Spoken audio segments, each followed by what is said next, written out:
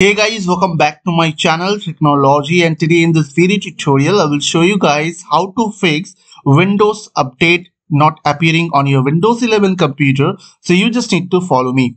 So firstly what you have to do you just need to download this bat file batch file for my video description. I will give you the link.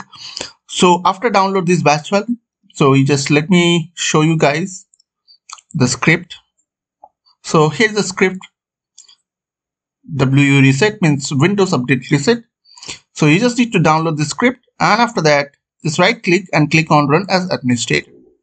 After that click on yes and just enter to continue and it will reset your update and it will fix your problem.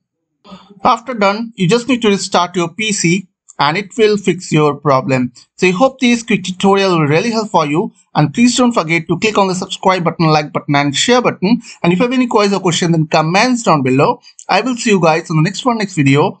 Till then bye bye take care.